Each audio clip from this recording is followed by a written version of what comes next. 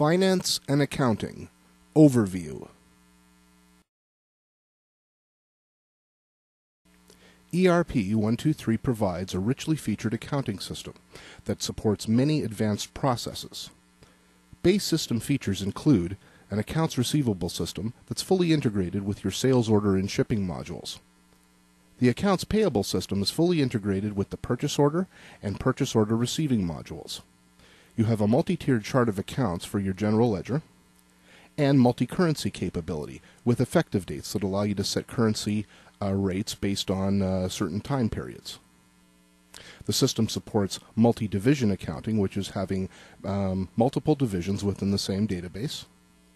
And you can choose to batch or automatically process accounting transactions, which is called posting. Account groups and departments are used to create mini statements. Both of these represent categories, and you can assign these categories to accounts within your system.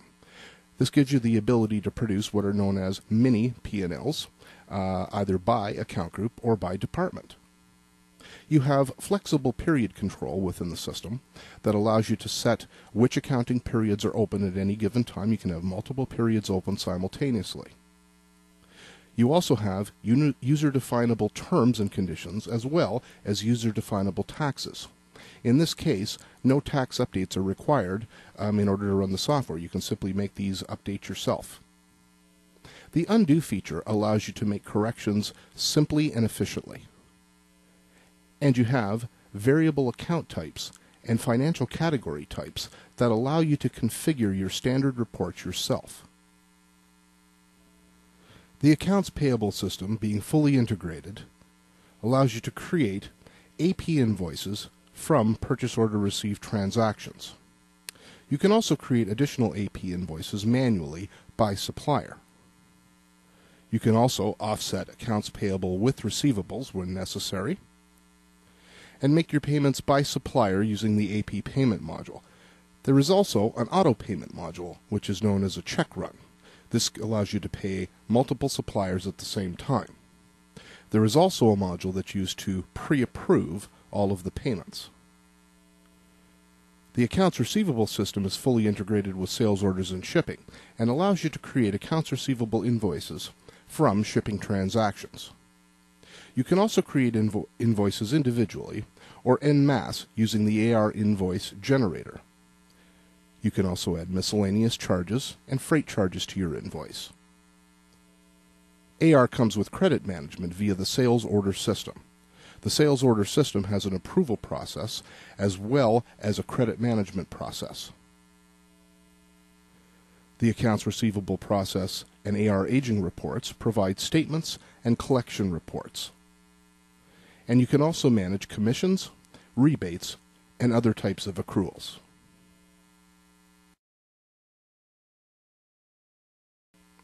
Let's take a look at the basic accounting flow within ERP 123. We'll start with the accounts payable side. Here you have purchasing, purchase orders, and from those purchase orders you will receive product and create receiving transactions. A module called PO Transaction Close allows you to see all of the receiving transactions that you've created. And any open transactions in the PO Transaction Close module are being accrued prior to AP Invoice. The AP Invoice module is used to process all of the PO receiving transactions, and here you can also create manual invoices as necessary. The AP Invoice module creates transactions that go to your general ledger. You can pay invoices using the AP Payment, which is an individual check one at a time, or the AP Auto Payment module, which is a check run. And this also, of course, creates transactions that go to the general ledger. On the accounts receivable side, we start with shipping transactions from your sales orders. Shipping transactions are created using the shipping module, and the shipping transaction release module is where all shipping transactions are being accrued prior to AR invoicing.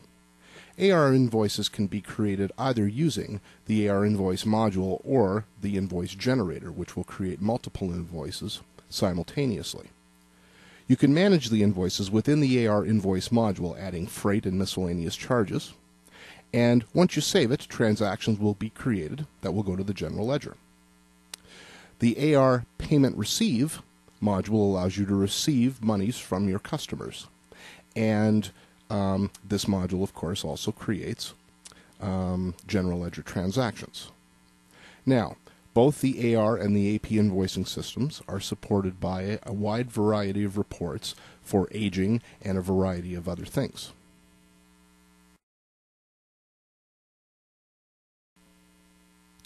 ERP 123 supports a wide variety of accounting process, but there are some general ones that we'll talk about in these overviews. The first would be a batch processing accounting model. In this case, purchases are typically expensed immediately or are charged to inventory. The system uses then the margin report to give you your cost of goods sold for the period. A work in process inquiry module provides WIP values on a real time basis, so this report needs to be taken at month end. You then have the inventory history system for month end inventory valuations. All of these history systems are based on running your period end history update module. You'll then use journal entries to adjust your inventory cost of sales and work in process valuations. This is a typical batch processing model. ERP 123 also provides what's known as real time inventory accounting. In this case, inventory transactions will generate accompanying accounting transactions. And this will produce real time inventory valuations, real time work in process, real time cost of goods sold, as well as accruals for purchasing and shipping. Costs for the accounting system are normally based on the Item Master Standard Cost.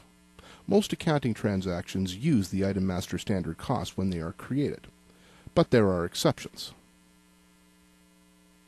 Cost of sales is normally the item standard cost, unless there is a work order associated with the sales order line, in which case the system will treat that work order as the standard cost for the particular sales order.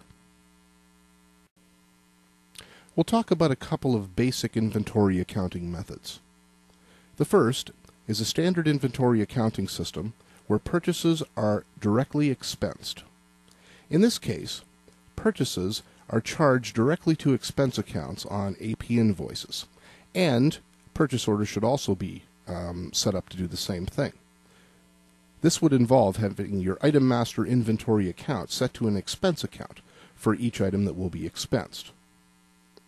Some companies charge purchases directly to inventory. In this case, purchase orders are charged um, are marked as inventory accounts, and the AP invoice then, uh, if it's not changed, will be an inventory account. We also have to talk about how you manage freight, uh, landed cost as a function of uh, inventory. In this case, item master inventory accounts will be set to actual inventory account numbers.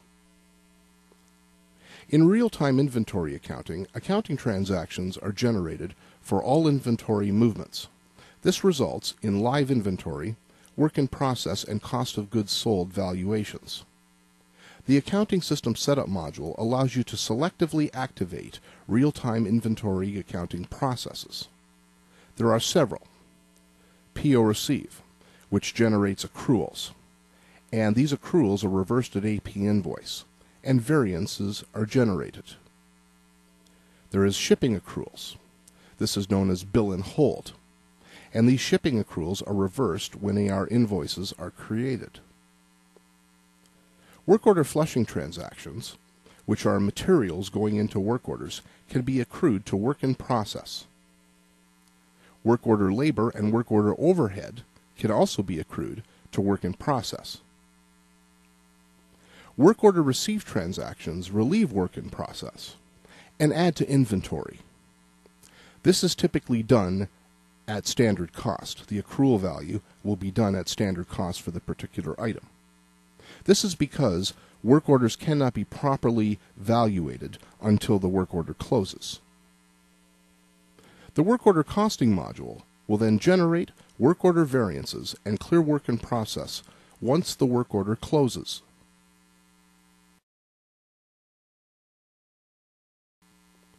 Let's take a look at the real-time inventory accounting chart. Real-time inventory accounting starts with PO receiving transactions, which are accrued. And these accruals are reversed at the time of accounts payable, and variances are generated depending on how you have your items set up. If you set your inventory account to the same account as your variance account, then no variances are generated. Variances in this case are forced back to inventory. In the case where the variance account is set to a different account, then you will actually generate variance. Now, this will also depend on how your item master cost type is set. In the case of standard cost, then you're going to generate price variance against that standard cost. In the case of average costing, it is normal to force the variance back to inventory. At the time of purchase order receiving, the item master cost will update, again based on the way that you have your cost type set at the item level. At the bottom here, we have shipping transactions, which accrue to what is known as bill and hold. This is shipments that have been shipped out but not yet invoiced, known as bill and hold in our system. During the accounts receivable process, bill and hold accruals are reversed. And if you have real time inventory accounting on, you'll also generate cost of goods sold. Cost of goods sold will come normally from one of two places either the item master standard cost for the item at the time of the invoice creation, or if there is a work order associated with the sales order line, then the cost of sales for that sales order line will be um, the cost of that work order. Now, in the case of both of these purchasing and shipping, um, these uh, create general ledger transactions, which uh, are, in this case, type PO accrual and type AP invoice. Here we have type uh, SO ship, uh, which is the accrual, and we have um, cost of sales and the uh, AR invoice. So these are the various transactions that are going to get generated. Now, over here, we're looking at the um, uh, the work in process system. So here we start with transactions which are work order flush and work order labor. And work order labor transactions also generate work order overhead. These are typically accrued in work in process. And then work order receive transactions up until the time because you can have partial receiving. So if you partially receive, the system will accrue to inventory at the item master standard cost for that work order received transaction. At the end, when the work order closes, then variances are generated using the work order costing module. There are also simple counting transactions, so these are just movement transactions.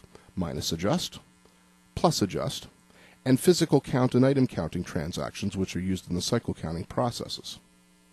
There is also a cost adjust, which is typically done at the time of either purchase order receive or work order receive. Cost adjusts adjust the item master standard cost, and what they are is they're the revaluation of all of the inventory in the system. So, real time inventory accounting has a variety of different things that um, it deals with, and we're going to have a, um, a very detailed section on real time inventory accounting later in this video set.